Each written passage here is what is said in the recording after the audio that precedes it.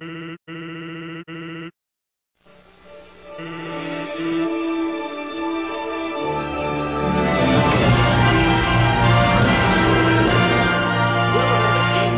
cassette tape.